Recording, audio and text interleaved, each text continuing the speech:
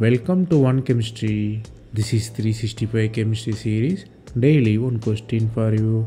Here cyclohexane is there. You have syn alcohol and you have trans isopropyl group. You are reacting with sodium hydride and carbon disulfide and methyl iodide. Next step you are heating up at high temperature. You have to find what will be the final product. Here the answer involves Chugaev reaction. If you know the Chugaev reaction, you may realize it's an interesting one because of its stereochemistry. First, you have to draw the reactant to the chair form. If you draw it, OH and methyl are syn to each other and isopropyl trans to that. Here, you are reacting with base. Base subtract the proton. Next step, you are attacking the carbon disulfide. Simple nucleophilic addition reaction happened. You have carbon disulfide.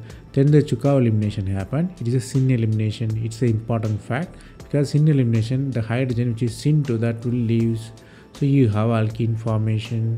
If you redraw nicely, you have methyl and isopropyl trans to each other. Here the concept you have to learn here is Chugaev elimination. Chugaev elimination is the syn elimination. Always two adjacent syn group.